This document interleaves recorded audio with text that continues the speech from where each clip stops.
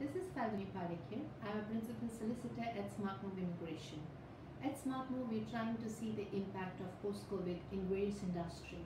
On 29th May 2020, we are here. We've invited panel of people and experts to understand the impact of post-COVID on hospitality industry in particularly.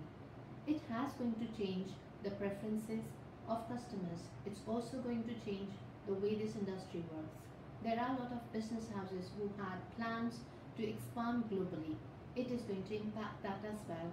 It's going to change on how people within this industry would be moving across the globe.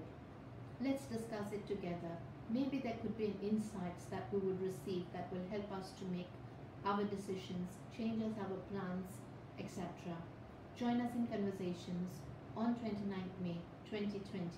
Register now for this webinar. Till then, stay safe, stay home. Thank you for watching this video.